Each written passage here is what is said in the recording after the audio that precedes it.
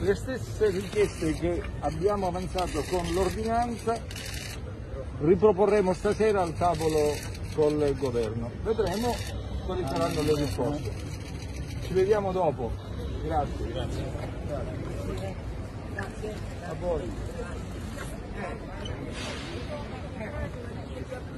rispetto ai soliti, eh, Se diciamo, il Presidente ci invita e raccoglie, eh, e raccoglie la nostra proposta di un confronto, vuol dire che ha qualche risposta da dare. dico anche la presenza di tutti questi ministri, oltre Gualtieri, Lamorgese, Di Maio, Guerini, De Micheli, cioè quindi si prevede scelte del Presidente del Consiglio, non certamente nostre.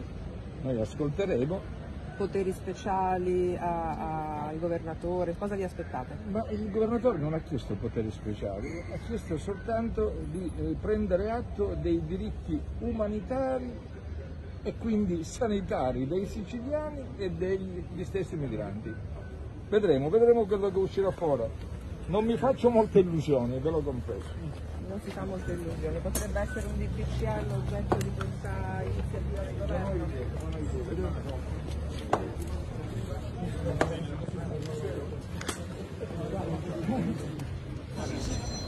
Cosa facciamo? Ci avviciniamo.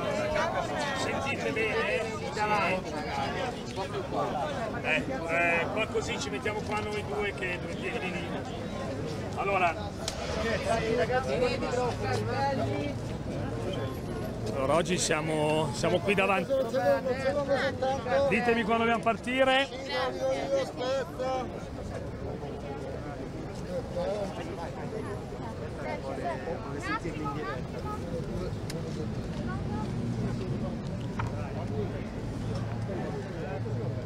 Ci siamo?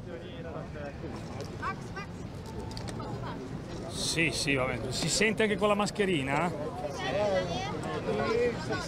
Così, dai.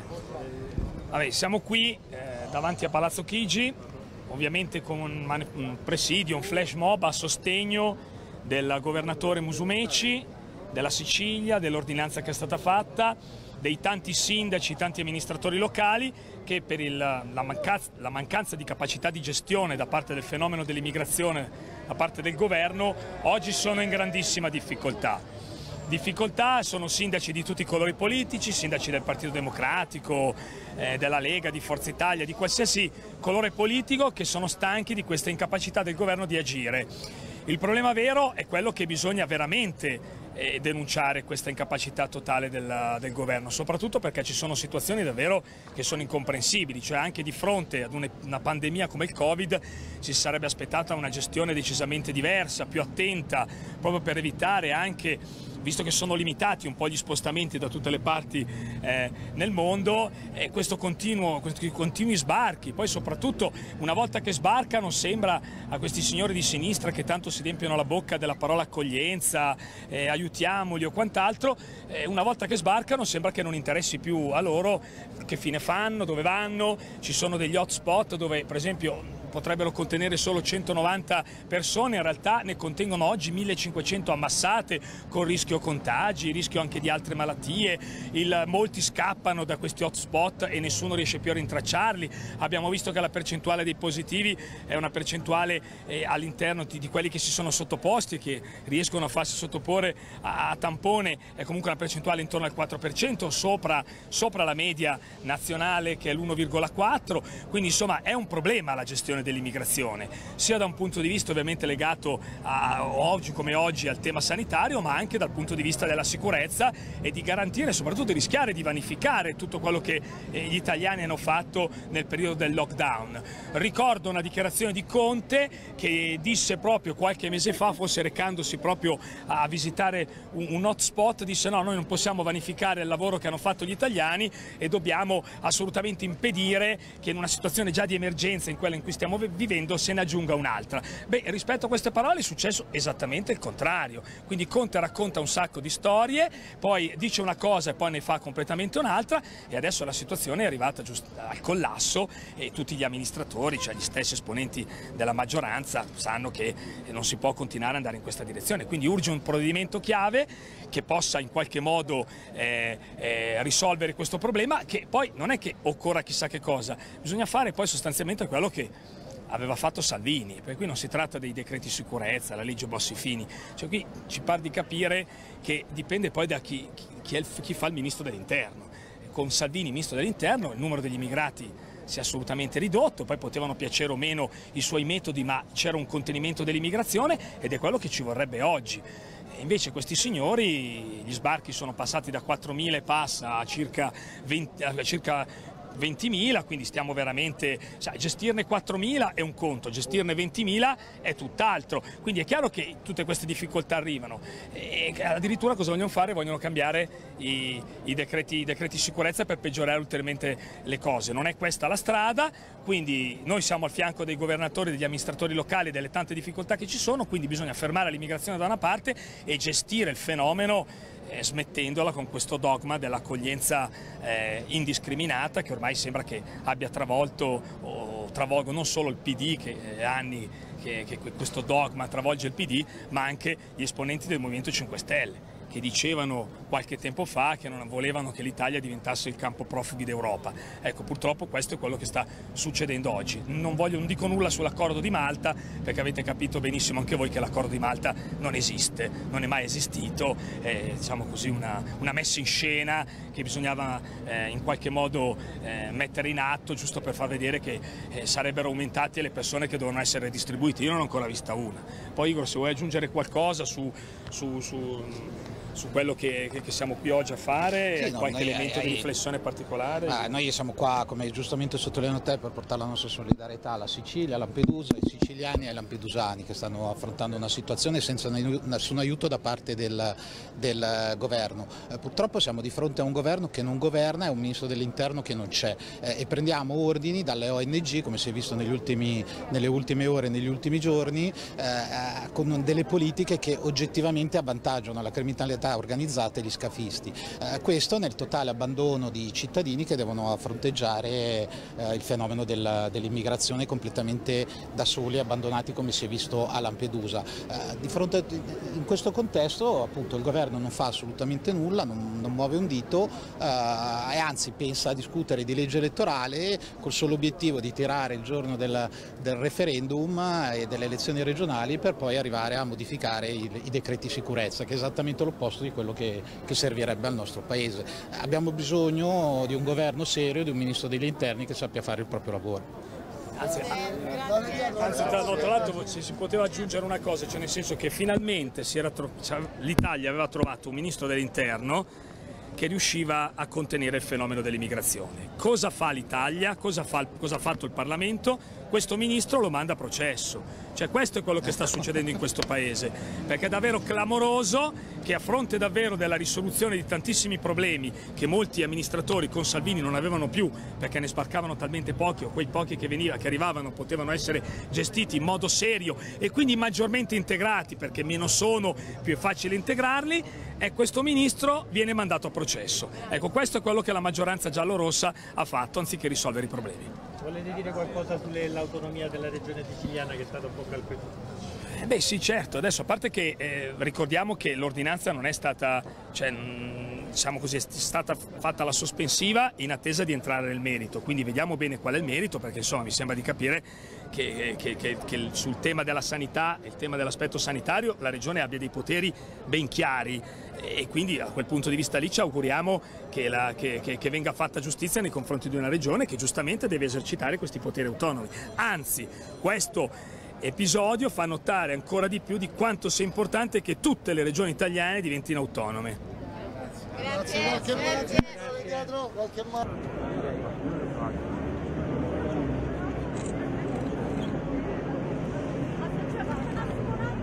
Per questo che chiediamo che scenda lui. Deve scendere lui, esatto. esatto. Scende lui. No, lasciamo un attimo libera l'entrata e lo risolviamo. Siamo qua. Eh no, siamo qua. Così non è libera l'entrata.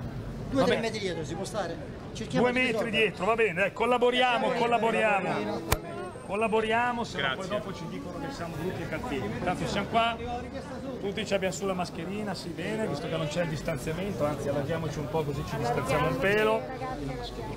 Però noi, noi, noi vogliamo, vogliamo far capire a Conte che, che deve assolutamente assecondare le richieste che vengono dai territori, ossia che deve finire sta storia di questa immigrazione, basta, bisogna fermare tutto, basta con questa politica eh, del ministro Lamorgese che fino adesso ha dimostrato in realtà di trattare, insomma, l'Italia sostanzialmente oggi sta accogliendo tutti, l'Europa non fa nulla e noi siamo stanchi di essere presi in giro, gli italiani sono stufi di essere presi in giro. Senatore, possiamo dire assedio a Palazzo Chigi? Beh, assedio, la miseria. Ma miseria, dai. Vergogna! Vergogna! Vergogna! Assedio. Vergogna! Vergogna! Vergogna! Assedio. Vergogna! Vergogna! Sereno sì. Noi, Pressing, no, no- pressing a Palazzo Chigi. pressing sì, pressing si può dire, più che altro perché il, il Premier che aveva promesso che sarebbe venuto in Parlamento entro il 7 di settembre, invece in realtà in Parlamento non ci viene, quindi scappa. Noi siamo stanchi, non c'è solo il tema dell'immigrazione, ci sono anche tante altre questioni, c'è lo studio, quello, il suo studio della Fondazione Kessler che il 12 di febbraio avevano sulla, sulla scrivania e non hanno fatto nulla, ci sono i verbali del, del CTS da, da desecretare, eh, ci sono i vincitori della gara d'appalto sulla fornitura dei banchi eh, che, vogliamo, che vogliamo sapere i nomi a proposito di trasparenza. Insomma, deve rispondere a tante domande, solo che cosa fa? Scappa. Sarà perché c'è la campagna elettorale, non vuole rispondere, sta in silenzio, dice che non viene, manda speranza, con tutto il rispetto chiaramente per il ministro Speranza che noi, anzi tra l'altro è stato uno di quelli con cui abbiamo anche lavorato meglio, però è chiaro che manda Speranza e che non ci dirà nulla, quindi noi, noi abbiamo bisogno, ma noi vorremmo vedere Conte, ecco, vogliamo, vogliamo vedere Conte noi.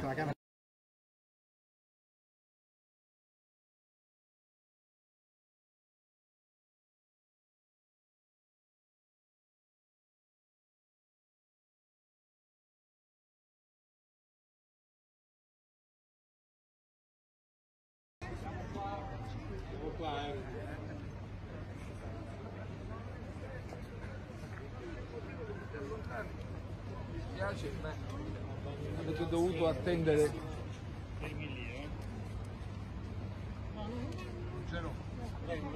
Intanto la soddisfazione di avere per la prima volta posto al centro dell'attenzione il tema del rapporto fra la Sicilia e il fenomeno migratorio, con le innegabili ricadute anche sul piano economico, sociale e sanitario. Rimangono diversità di vedute con il governo che ha proposto alcune iniziative ma slegate ad un calendario, quindi al di fuori di scadenze precise. Abbiamo dimostrato con i documenti che eh, l'hotspot di Lampedusa e sostanzialmente tutti gli altri centri di accoglienza vanno chiusi, vanno svuotati per essere adeguati alle norme anti-Covid. Da parte del governo c'è la volontà di cominciare con quello di Lampedusa, addirittura hanno accreditato questa iniziativa come nei prossimi giorni. Abbiamo chiesto di non portare più navi ONG nei porti siciliani e nei porti italiani perché è il momento che anche l'Europa adesso faccia la propria parte. La Sicilia si fa carico dei migranti che arrivano con i barconi o con i barchini ed è già un grande risultato. Siamo contrari all'ampliamento degli hotspot ovunque si trovino nell'isola. Abbiamo detto con franchezza che eh, Lampedusa soffre un momento di particolare eh, gravità e di tensione sociale che va contenuta e neutralizzata. Il governo ha assicurato iniziative di carattere economico e finanziario a sostegno della comunità di Lampedusa. noi sugli hotspot andiamo avanti, abbiamo consegnato al tavolo del governo le stesse richieste che avevamo avanzato nella nostra ordinanza con l'assessore Razza che è qui con me, quindi eh, abbiamo detto al governo che eh, naturalmente restiamo vigili, non ci aspettavamo, non ci facevamo grandi illusioni e avevamo ragione, è rimasta e rimane la volontà a parole da parte del governo centrale di volere finalmente affrontare questo grave, grave problema. Se le parole diventeranno fatti lo vedremo nei prossimi giorni, ma noi non indietreggiamo di un solo centimetro.